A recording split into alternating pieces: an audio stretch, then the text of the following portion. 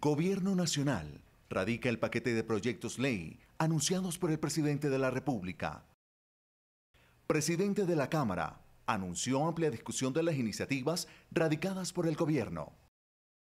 Representantes de Bogotá crean comisión para defender los intereses de los capitalinos. Continúan amenazas y asesinatos de líderes sociales en el país. En la Cámara proponen reducir en tres puntos el impuesto del IVA.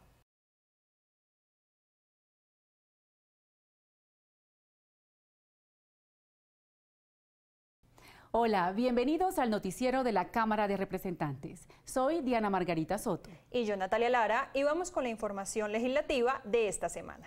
El presidente Iván Duque anunció en su discurso de posesión importantes iniciativas que deberán ser tramitadas en el Congreso. Reforma a la justicia, reforma política, reforma pensional y tributaria, entre otras materias, serán objeto de discusión durante esta legislatura. Los invito a todos a que construyamos un gran pacto por Colombia. El gobierno nacional ya radicó los proyectos de ley que anunció el presidente Iván Duque y que iniciarán su trámite. La legalidad implica que trabajemos por la seguridad ciudadana, que tengamos mecanismos para georreferenciar el delito, que sancionemos con cadena perpetua a los violadores y asesinos de menores y de mujeres y que nos concentremos en una agenda de prevención del crimen. Entre las prioridades está la reforma a la justicia, política tributaria y acabar con la corrupción son las metas para este periodo. Sancionemos con cadena perpetua a los violadores y asesinos de menores y de mujeres y que nos concentremos en una agenda de prevención del crimen. La ministra del Interior, Nancy Patricia Gutiérrez, radicó un paquete de iniciativas del Gobierno Nacional.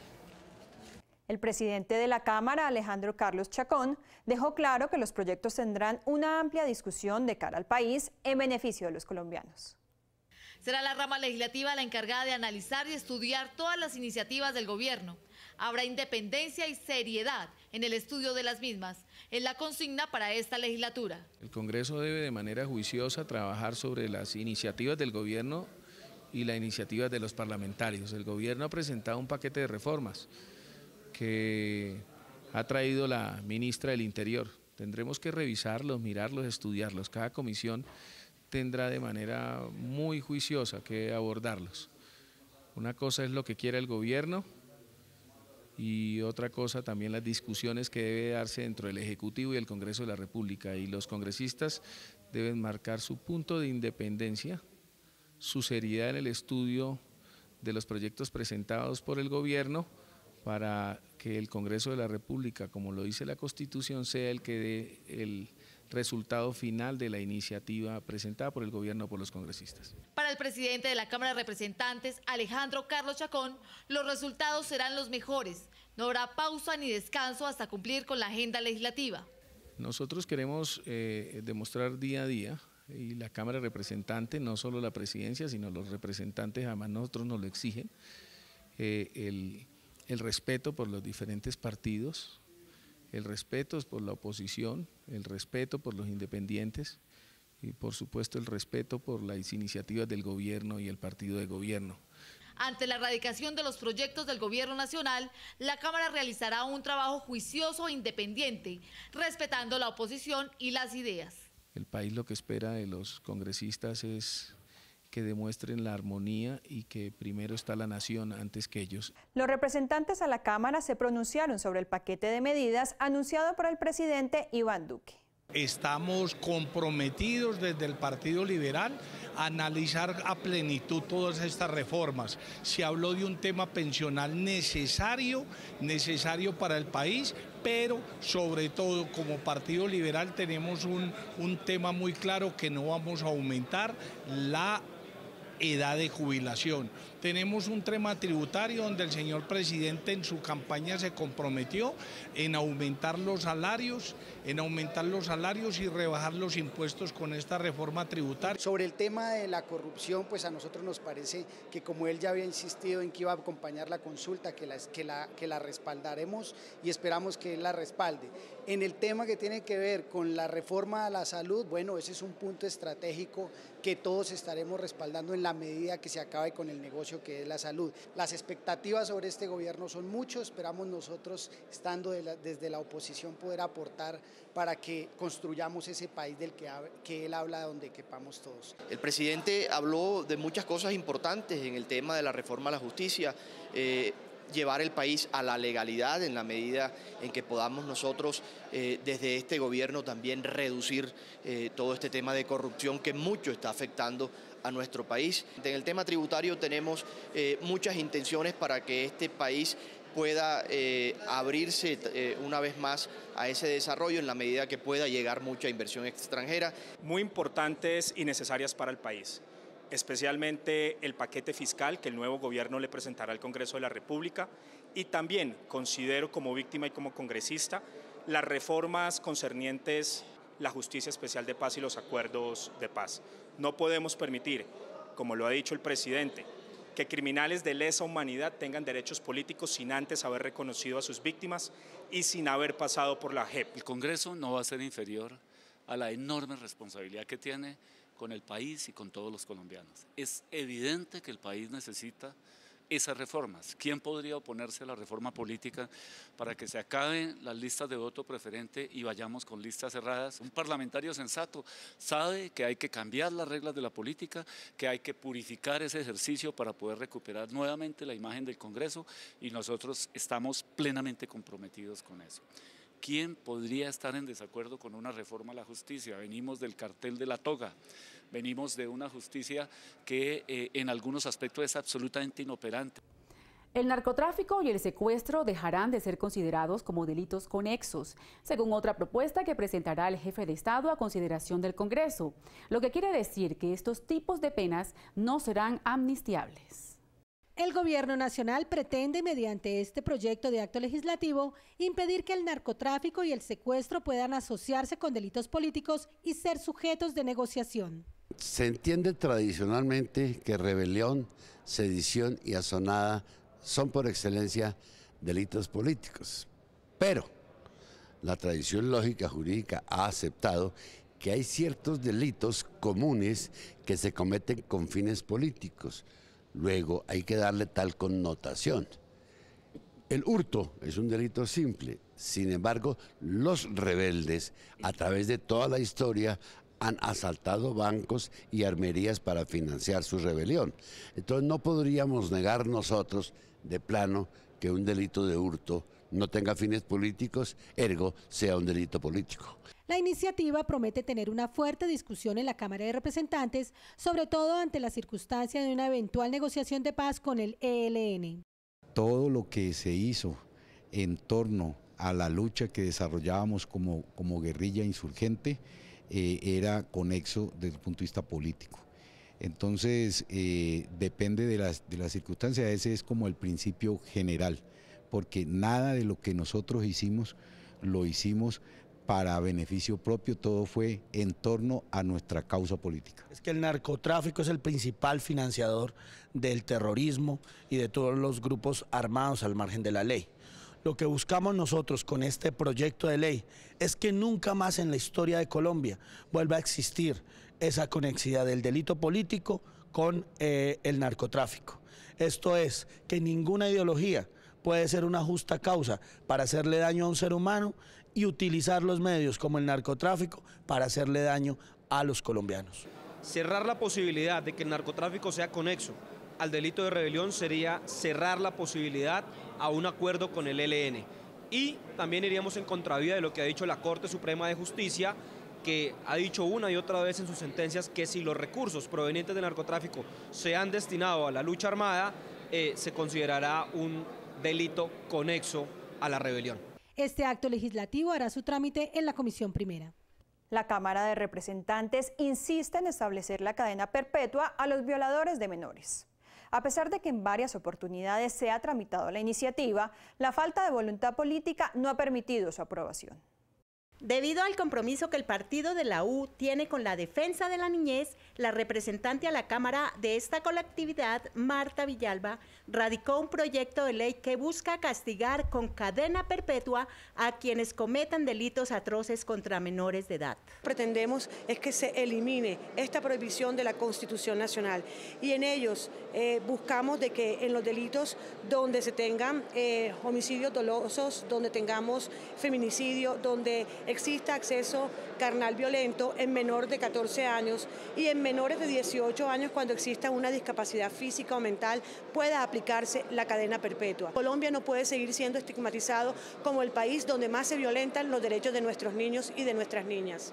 Otras colectividades se unieron a la iniciativa. Yo creo que es un sentir de los ciudadanos en Colombia que están muy interesados en que se cambien las normas, que se cambien las leyes y que hayan sanciones más drásticas para este tipo de delitos que afectan eh, a los niños y a las niñas en Colombia.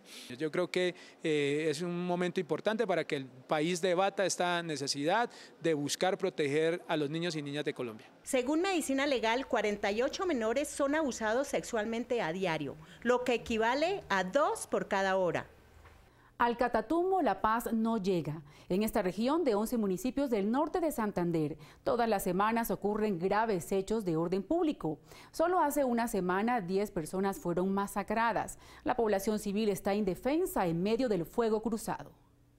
Un llamado angustioso al gobierno nacional hicieron los representantes a la Cámara de la región del Catatumbo ante la escalada de violencia que en la última semana cobró la vida de 10 personas en el municipio del Tarra Norte de Santander. Rechazamos todos estos actos violentos sistemáticos de, de asesinatos de la población civil en la región del Catatumbo y le pedimos al gobierno nacional a la Fiscalía General de la, de la Nación que esclarezca estos hechos, a la fuerza pública que genere el control necesario de esta región, porque cada vez más son mayor los asesinatos, mayor el desplazamiento en la región del Catatumbo. Yo estoy de acuerdo con la paz, yo estoy de acuerdo que entre los colombianos tenemos que hacer la paz, pero la paz no solamente se da con firma de tratados, entre una guerrilla y el gobierno, el Estado. No, la paz tenemos que hacerla con inversión social.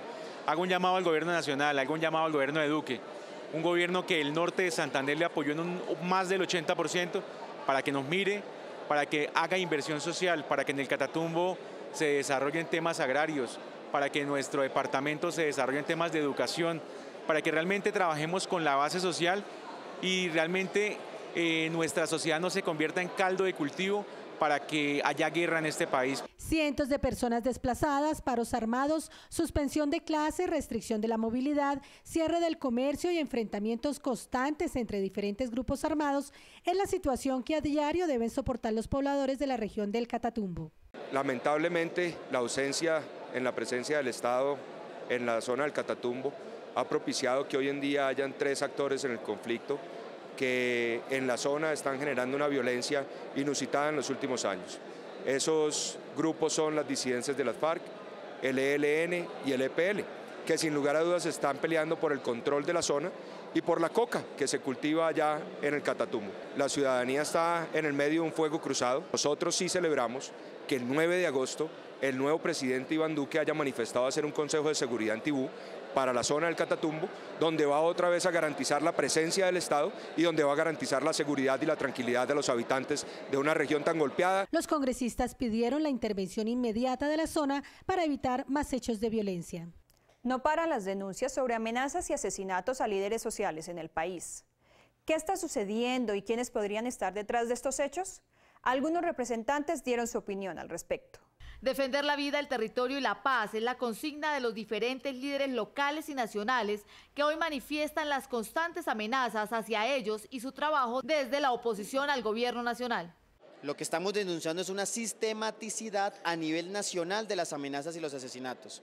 A nombre de un grupo que se llama Águilas Negras, que hoy a la fecha, después de dos, tres años de estar sacando panfletos, nadie sabe quiénes son, cuál es su jerarquía, quiénes son los, los capos, Movilizaciones nacionales e internacionales se han realizado con el fin de demostrarle al mundo que los líderes sociales son ciudadanos libres, que no se van a dejar matar. Así quedó demostrado este 7 de agosto. Que es necesario de que se garanticen todas las medidas y esto pasa por eh, el desmonte de las bandas, el desmonte del paramilitarismo, por la protección a las comunidades y también por acabar con la impunidad. Es que la impunidad es uno de los factores que sigue alimentando eh, el asesinato de líderes sociales y también de presidentes de juntas de acción comunal. Según el Instituto de Estudios para el Desarrollo y la Paz, INDEPAZ, desde el 1 de enero al 5 de julio de 2018 se han registrado 119 asesinatos a líderes.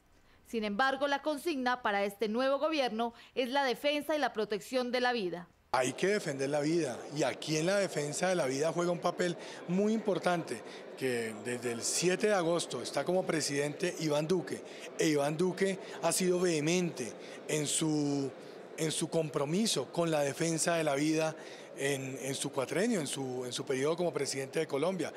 Aliviar el bolsillo de los colombianos reduciendo en tres puntos el impuesto del IVA es lo que busca una iniciativa que tramitará la Cámara. El proyecto además pretende garantizar un crecimiento económico con calidad para el país. Reducir el IVA del 19 al 16% a través de la modificación de un artículo del Estatuto Tributario es lo que pretende el congresista cundinamarqués y así contrarrestar el impacto negativo que provocó en el comercio, los empresarios y en el bolsillo de los colombianos la reforma tributaria 2016 que ubicó este impuesto en el 19%. Eso nos garantiza empleo, eso nos garantiza crecimiento económico con equidad y también nos va a garantizar que no se sigan cerrando empresas por la carga impositiva que hoy generó la reforma tributaria que nos heredó el anterior Congreso de la República. Asimismo aseguró que si se ataca la evasión, la ilusión y las exenciones tributarias, no se va a requerir una nueva reforma. Con esos tres instrumentos vamos a tener los recursos necesarios para poder atender el plan de desarrollo del gobierno en cabeza del doctor Iván Duque. Actualmente Colombia es uno de los países latinoamericanos con una de las tasas más altas, acompañado por Chile, seguido de República Dominicana, cuyo gravamen es del 18%.